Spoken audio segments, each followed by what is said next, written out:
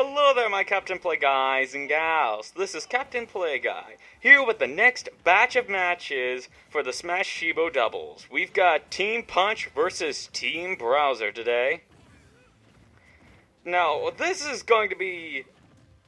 Oh, this is going to be a tough match to call because with Chrome, he's one of the heaviest characters in the entire game.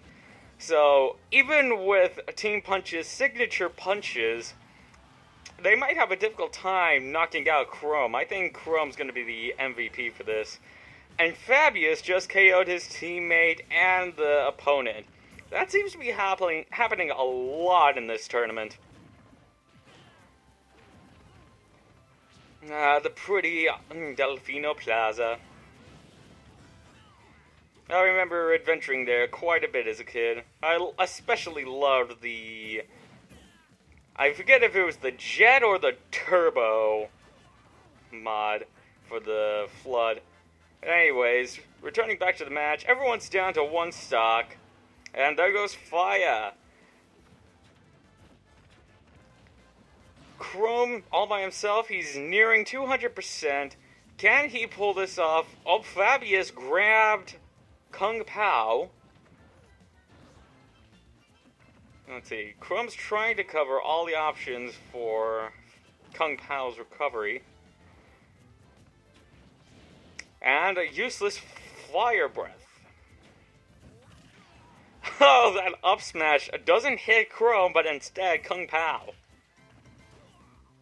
Oh my, it's... I Is that 182 or 192? And there goes Kung Pao, quicker than you can say Pneumonoultramicroscopicsilicovolcanoconiosis.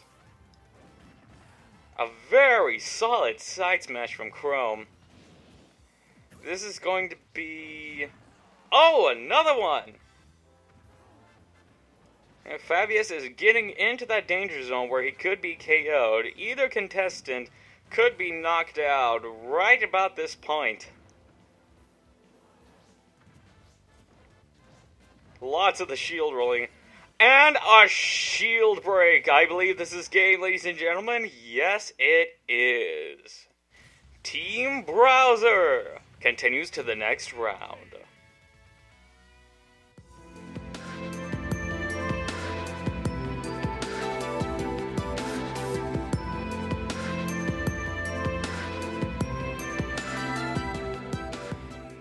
And here's our last match of the round. We've got Team Shadow versus Team Gadget. Now, this.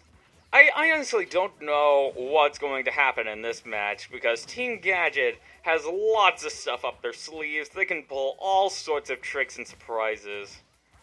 But how will Team Shadow be able to handle against that? D- did both teams just grab their teammate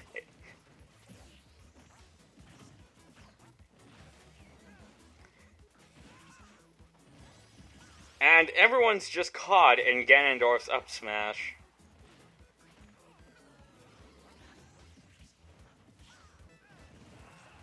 Let's see, it just seems to be your typical fighter fare for, for the matches. Oh, oh, alright, Sleeve almost got KO'd by Ganondorf, but it's not the case yet. But he is in the danger zone, especially. He's at 170, while everyone's settling right around 120%. And that'll do it for Sleeve's first stock. He's the first to go. My goodness gracious, did Inspector just got spiked?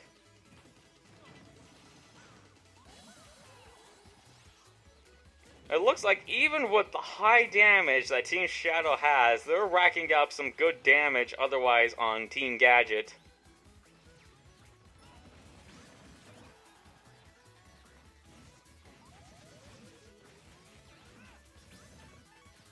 Let's see, Sleeve is up to over 100% already again. Where...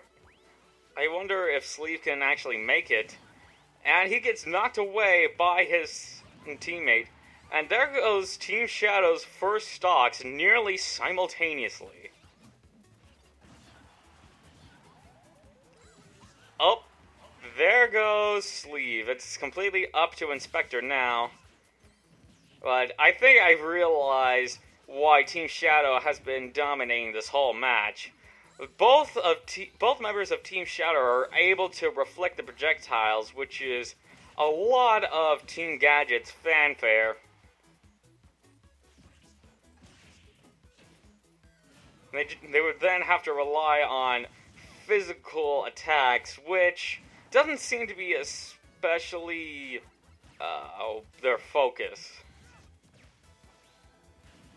Inspector does seem to be handling himself quite well, though. Match is about halfway through at this point. Yeah, getting away from that sticky bomb. Oh! Oh, Inspector's over 200. Almost anything could take him out at this point.